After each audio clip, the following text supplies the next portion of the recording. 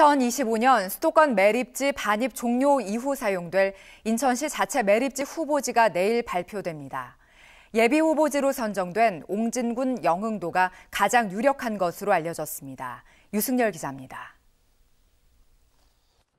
인천시가 내일 오전 자체 매립지 후보지를 발표합니다.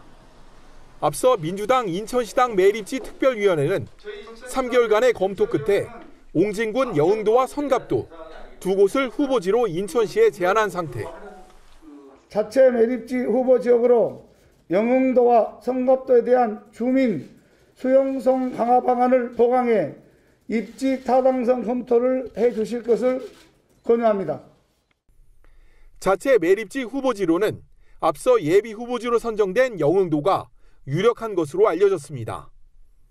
인천시는 경기도 시흥과 안산을 거쳐 영흥도로 폐기물을 운반하는 대신 제2영흥 연륙교를 건립해 운반하는 방안을 검토하는 것으로 전해졌습니다.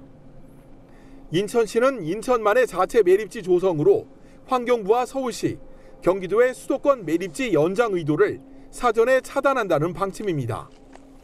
수도권 매립지를 대신할 대체 매립지 공모 사업이 현재 진행 중인데 실패로 끝날 가능성이 높은 상황. 이를 명분으로 환경부 등이 수도권 매립지 사용 연장을 요구할 수 있다는 판단 때문입니다. 인천에 있는 수도권 매립지에 인천 쓰레기를 안 버리는데 서울과 경기에서 어떻게 쓰레기를 갖다 버릴 수 있겠습니까?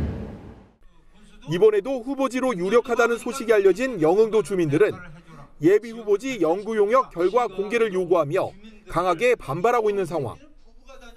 인천시는 후보지 확정을 시작으로 자체 매립지 조성을 본격화할 계획인데 인센티브 제공 등 후보지 주민들 설득이 사업 추진의 최대 관건이 될 전망입니다.